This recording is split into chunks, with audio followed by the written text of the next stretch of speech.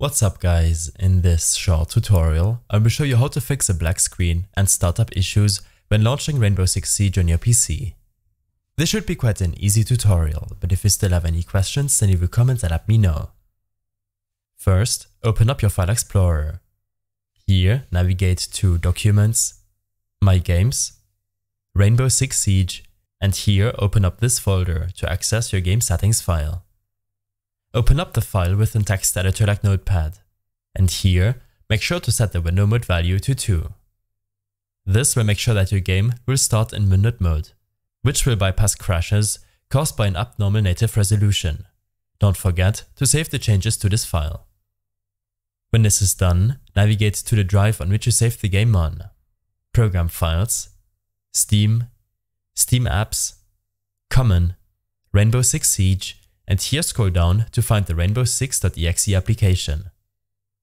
Right-click the application and select Properties. Here in the Compatibility tab, select to run the program in Compatibility Mode 4, Windows 7, and disable full screen optimizations. Don't forget to apply your changes. In case the issue persists, then your game files might be corrupted. Open up your Uplay, Epic Games or Steam launcher.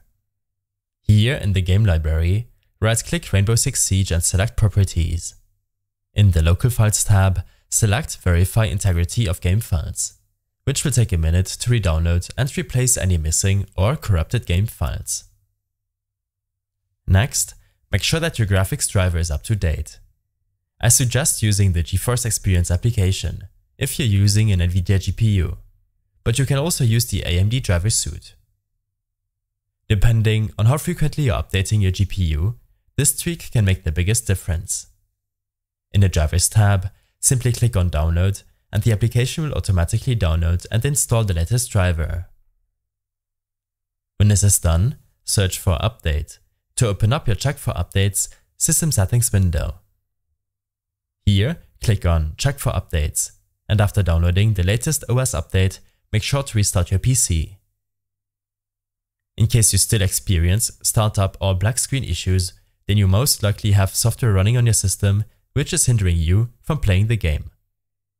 To fix this, I first of all suggest uninstalling recently installed programs which can change your files or use up your available resources, such as OBS, Shadowplay, CCleaner, or Adobe Applications, to troubleshoot which program is causing the black screen. In some cases, even your firewall or antivirus application can negatively impact the game's performance. Open up your task manager by right-clicking your taskbar and selecting it.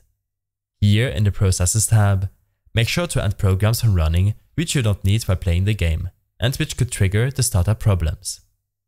I hope this helped you out. Leave a comment if you have any questions and see you in the next one.